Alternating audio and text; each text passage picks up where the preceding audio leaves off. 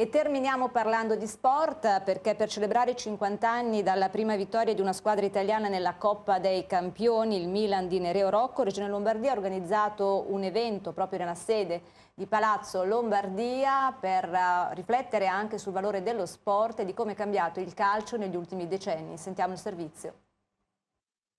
Questa è una serata dove si ricorda la, prima Coppa dei Campioni del 63, quindi se volete vi cito la formazione, i gol, tutto quello che volete che riguarda il 63. Oggi parlo solo di 1963.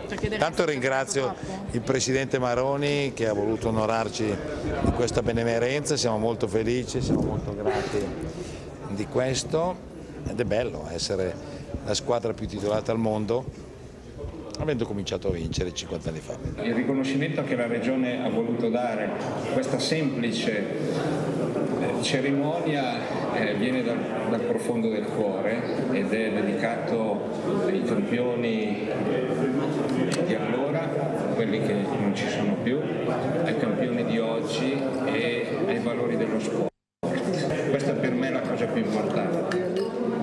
Spesso si abbina lo sport a modelli di comportamento che condizionano i giovani non sempre in modo positivo.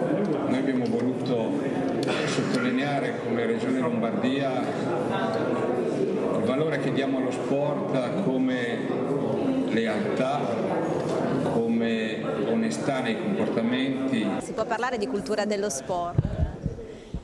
La cultura dello sport, innanzitutto la cultura di valori di cui parlava il Presidente prima e quindi lo sport inteso come etica, quel, quel valore che spesso ultimamente si crede perduto o che i fatti di cronaca degli ultimi anni non sempre hanno valorizzato come etica dello sport ma per altre, per altre ragioni. Tra il suo assessorato delle culture e identità con quello dello sport, allora ci potrebbe essere qualche iniziativa in comune?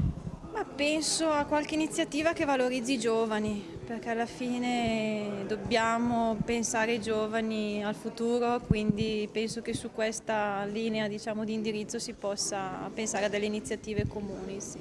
Ne parlavo proprio poco fa con l'assessore, con il collega Rossi e è importante che i giovani riscoprano dei valori fondamentali ecco, per la società.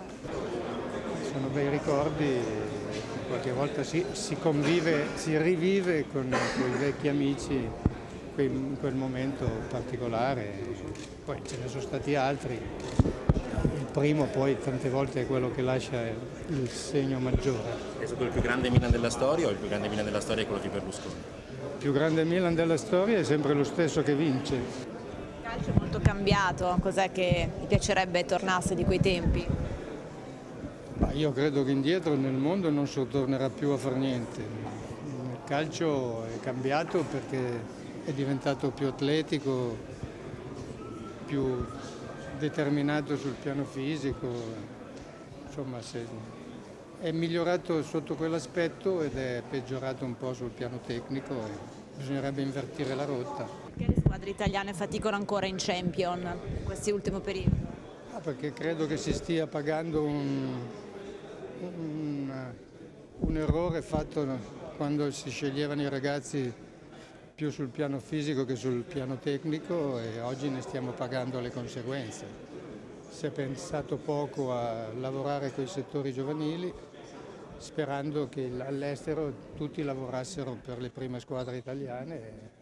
Forse per un po' di tempo è stato possibile fare così, adesso non ci sono più i giocatori che vengono volentieri in Italia perché in altre parti del mondo guadagnano molto di più e quindi bisognerebbe reinvestire sui settori giovanili e costruirsi in casa il, il futuro.